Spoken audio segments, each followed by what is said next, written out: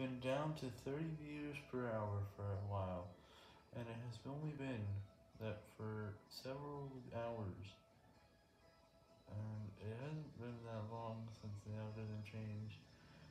However, the videos that were promoting my channel in the beginning, since the 13th of February, had started to slow.